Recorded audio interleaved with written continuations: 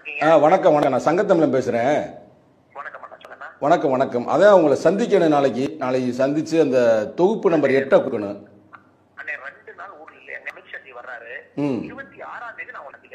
ஏன்னா நீங்க தான் வந்து எங்களை தவிர தேவையில்லாம நீங்க வம்புக்கு இழுக்கிறீங்க விவாதிக்க தயார்ன்றீங்க என்னங்க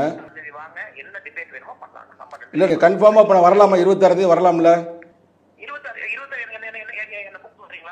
இருபத்தி அஞ்சு கூப்பிடவா